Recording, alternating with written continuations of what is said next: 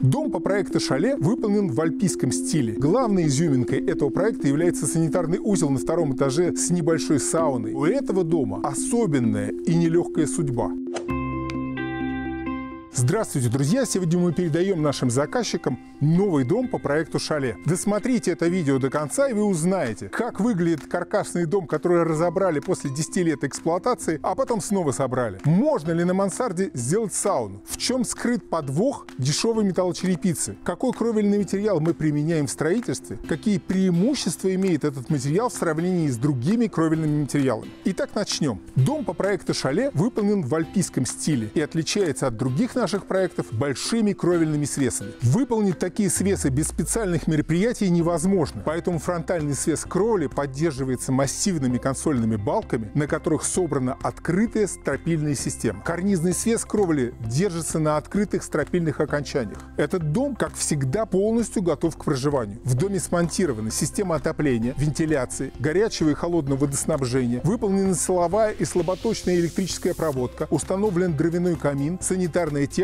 и выполнена финишная отделка. Площадь жилого здания 207,7 метров, в том числе отапливаемая площадь 158 квадратных метров, ширина дома с автонавесом 14,2 метра, размер вглубь участка 9 метров, площадь автонавеса 34 квадратных метра. На втором этаже выполнен просторный балкон-галерея с площадью около 10,5 квадратных метров. Ставьте лайк, подписывайтесь на канал и присоединяйтесь к нам в мессенджерах, чтобы не пропустить видео о новых домах. А мы продолжаем. В этот дом мы попадаем через стильную входную группу с открытыми балочно-стропильными конструкциями. Продолжаем осмотр и проходим в прихожую с площадью 6,8 метра с высоким витражным остеклением и небольшой зоной для установки навесного газового котла. Из прихожей перемещаемся в холл с лестницей, из которого можем пройти в компактный санитарный узел, гостевую спальню, кухню, столовую 18 метров и гостиную с камином. Из гостиной и гостевой спальни можно выйти на запланированную большую террасу, выходящую внутрь участка. Поднявшись по лестнице в большой и хорошо освещенный холл второго этажа, мы можем пройти в одну из трех просторных спален с площадью 17-18 квадратных метров. Через чердачный люк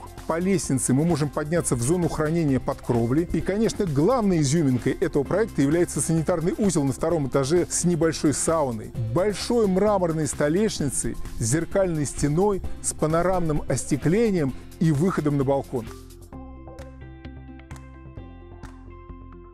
Кроме сауны, в санузле мы видим чешскую душевую кабину Рава 90 на 90 сантиметров со стеклянными дверками. А из базового предложения комфорт мы видим на стенах и полах плитку завода «Сокол» коллекция «Травертин», радиатор отопления «Прада» и унитаз «Джика Лира». Площадь санитарного узла 11 квадратных метров. Вот кратко о сегодняшнем доме. Строительство каждого дома – это отдельная история. А у этого дома особенная и нелегкая судьба. Этот дом впервые был построен в 2011 году на выставке выставочной площадке «Экодом Экспо», недалеко от станции метро «Парк Победы» в Москве. У нас сохранился 3D-тур по этому дому, и вы сможете вернуться в 2011 год и побродить по этому дому. Кроме того, при демонтаже этого дома мы сняли очень информативное видео о состоянии утеплителя в конструкциях правильно спроектированного каркасного дома через 10 лет эксплуатации. Призываю вас посмотреть эти материалы.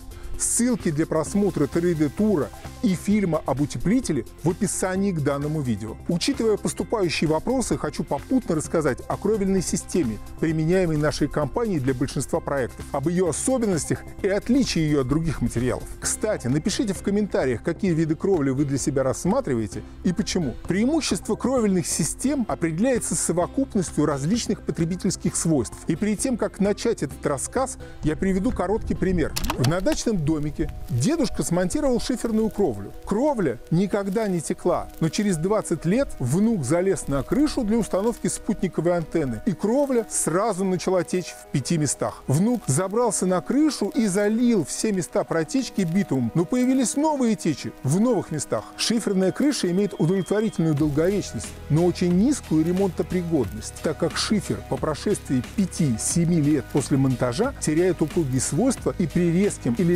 неравномерном нагружении на нем образуются трещины и сколы. В этом примере мы столкнулись с низкой ремонтопригодностью материала. Есть кровельные материалы, которые рекламируются и продаются под одним общим названием, но имеют очень разные цены и свойства. Так мягкая черепица в зависимости от типа битума, технологии ее производства различается ценой и сроком эксплуатации более чем в три раза. Гарантия на этот материал от 10 до 50 лет. Или другой пример. Защитным покрытием для металлочерепицы является слой цинка и лакокрасочное покрытие. В продажу сейчас поступает металлочерепица с толщиной стали от 0,3 до 1 мм, с защитным слоем цинка от 100 грамм до 300 грамм металла на квадратный метр листа покрытия. А типов и толщин полимерного и лакокрасочного покрытия для металлочерепицы вообще сосчитать невозможно. На самую дешевую металлочерепицу дается только трехлетняя гарантия. Учитывая толщину стали 0,3 мм, ее даже донести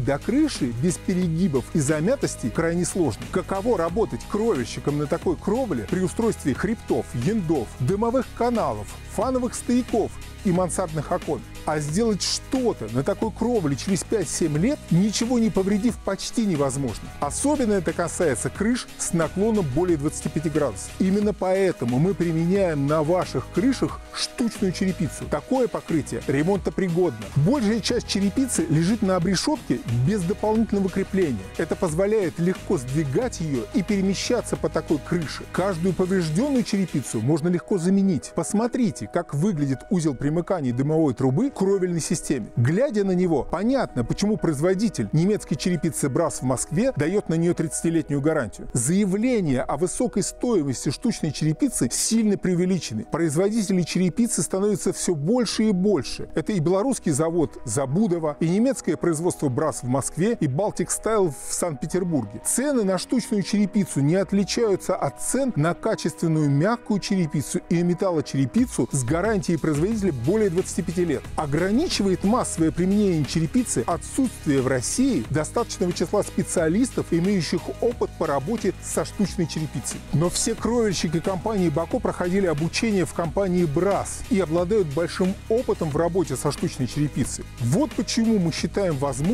выполнять для вас кровельные работы штучной черепицы Брас по цене работ с металлочерепицей. Напишите в комментариях, что бы вы хотели добавить в наши обзоры готовых домов, а мы постараемся учесть ваши пожелания в следующих видео. Друзья, если вам понравился мой рассказ, ставьте лайк, подписывайтесь на наш канал, чтобы не пропустить новые полезные видео. А компания Бако строит дома для жизни.